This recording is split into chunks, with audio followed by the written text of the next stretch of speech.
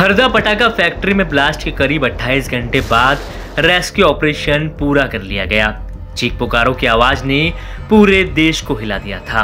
घटनास्थल पर अगले दिन तक आँख सुलगती रही। सीएम मोहन यादव से लेकर आला अधिकारी मंगलवार को हरदा पहुँचे। उन्हें मृतकों और घायलों के परिजनों के गुस्से का सामना भी करना पड़ा। आइए हादसे वाले दिन से लेकर अब तक क्या क्या हुआ, आपको विस्तार से बताते हैं।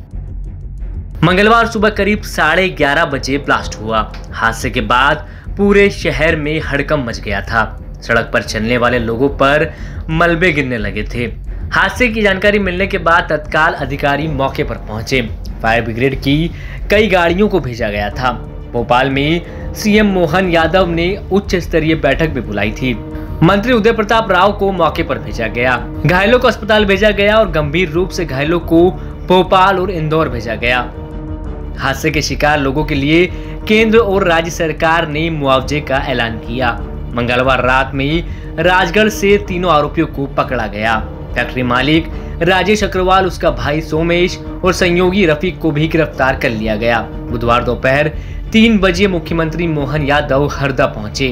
मोहन यादव ने घायलों से मुलाकात की और घटनास्थल का जायजा लिया। इसके बाद कोर्ट ने राजेश और रफीक को जेल भेज दिया। और सोमेश को पुलिस रिमांड पर।